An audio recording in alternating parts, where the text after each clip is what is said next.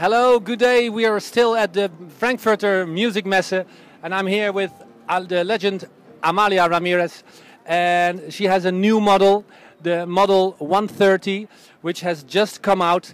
And Amalia, could you tell us something about the beautiful rosette you designed? Yes, I designed this rosette because after the tsunami in Japan, I was very touched because uh, my family and the business has always had a very nice uh, and very friendly relationship with uh, Japan, with the Japan people, no?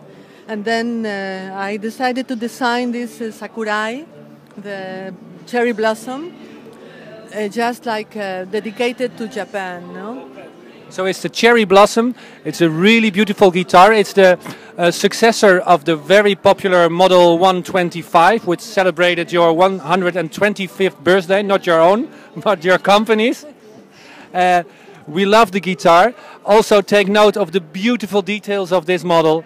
I think you, it's very hard to find a guitar this detailed and this beautiful uh, at a price like this. It's brand new. Thank you, Amalia. All the best.